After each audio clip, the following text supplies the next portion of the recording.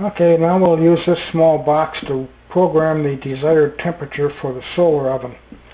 It's not unlike a small project I did back in the mid-80s when I worked for Square D Automation Products in Milwaukee.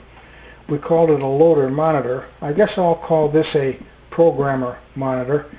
It allows me to use it for other things besides the oven, but here we're going to program the desired temperature and then we can monitor what's going on or read back temperature logs and the like. So I'll turn the power on.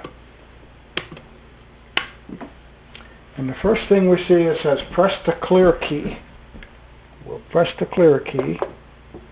Now either I can enter my desired temperature or if I mistake, make a mistake I can press the clear key and start over. Let's say I want to enter 225 and I go 2, 5, Oops, don't want that. So I'll clear it, start over again, 2, 2, 5. Now my temperature is 225. Now it says to read log, press enter key. If, that, if I had this outside logging temperatures uh, in the whole sequences, uh, I could read those back at this time. Otherwise I'll clear the, hit the clear key and it clears out what was in there and then it'll come back and tell me my desired temperature is 225 degrees and then I should turn the power off and flip the toggle switch from program to run and I'm ready to go outside and put it through its paces. Now I've deliberately got the oven positioned so it's not facing directly into the sun and you should see it self-adjust here once uh, we get to that point. It will gradually tick over until it's directly facing the sun. It moves until the shadows are just about even on both sides of the verticals. Now, once it's done with the east-west, it will uh, it will go vertical, and then when you see you'll see the little uh, screw turn and adjust it on the up and down position. It might have a few more ticks. It only goes a few degrees, and I there it goes. You can see it going up now, and it's going to go a little more because I had it off a bit. But I do have a delay in between because as I said in my one of my videos, I don't want to stress that chip that drives the uh, stepper motor. But you can see it moving it up. Once it's to a very neutral position, that will stop, and then we'll continue. Now I've got the oven programmed for 225 degrees, which is pretty low. It's probably almost there, but I want to demonstrate that when it gets to 225, it moves 90 degrees back toward the east and waits for the temperature to uh, drop off a bit and then it'll return to where it was. Now, the oven has just moved 90 degrees east. I missed the movement because I wasn't ready to catch it on video, but it'll stay there for it'll at least one minute. It it it moves and then it reads the temperature once a minute until the temperature drops off. Now at these lower temperatures, uh, it might stay there for several minutes before it goes back to full sun. We don't know what's going to happen. Hopefully it'll go back quickly, but it was about 228 when it moved. I could check the temperature on my little panel. And uh, so it might have a while to cool off. One thing I've noticed on these, and not to blame Sun Oven, but any of these uh, fine metal thermostats, read high. I'll trust my thermocouple over these things, and they, I had two of them in the oven just to compare, and they both read, anyway, there goes the oven back now. It, it, it was about a minute, and it's going to go back, and it might have to adjust a little more once it gets there. So now it'll sit there and wait for the temperature to go back to 225, rotate 90 degrees back, and I found that I can, I can uh, hold that temperature at the lower temperatures around plus or minus, not plus or minus, about between 225 and 230. About a 5 degree difference. It's really close.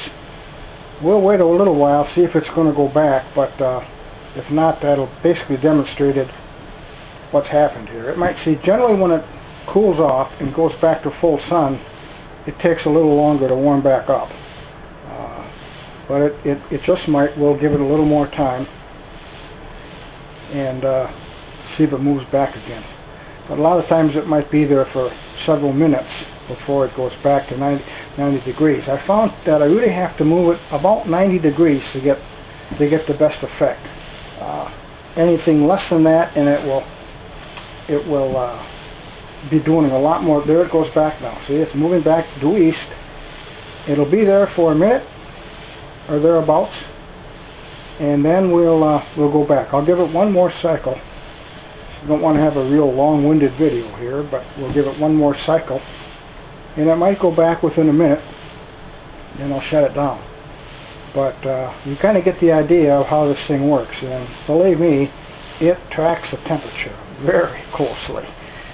One of the nice things about this now, this is set at 225 degrees, which isn't very warm, but let's say you want to dehydrate, or just a, a long, slow cook at 200, 225. I've tested it all the way up to 325 in 25 degree increments, and, and uh, of course, the higher you get, the longer it takes to heat up. But I've been cooking meals in it, and uh, the only problem I have right now is condensation on the glass. I've got to tie a few things, maybe a, a baking bag or or something else. But uh, other than that, there it goes back now. It's going to go back to full sun and wait till it gets to 225 and she'll kick back.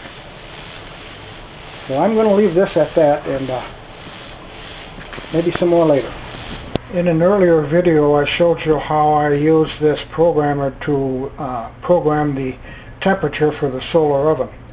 Here I'd like to demonstrate how I read back the temperatures when the oven went into the holding pattern.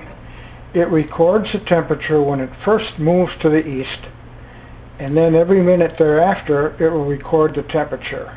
When it moves back westward, it will record a zero as a demarker for me, telling me that the, the uh, sequence is finished.